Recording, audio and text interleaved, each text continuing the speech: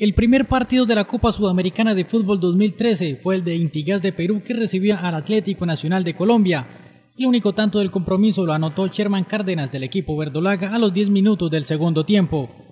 Más tarde, en otro duelo entre colombianos y peruanos, el Itagüí, debutante en un torneo internacional, recibía al Juan Auris.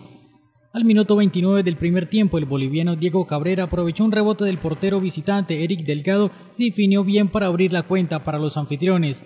Diez minutos después, otro error del arquero peruano al derribar a Luis Quiñones, pena máxima que tradujo en gol el central Jorge Aguirre.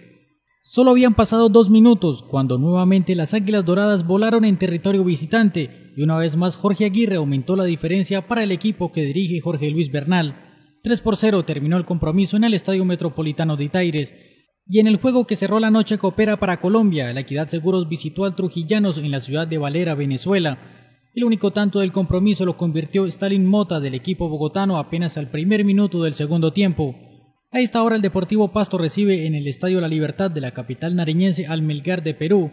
La próxima semana se disputarán todos los partidos de vuelta de estos 16 de final de la Copa Sudamericana de Fútbol.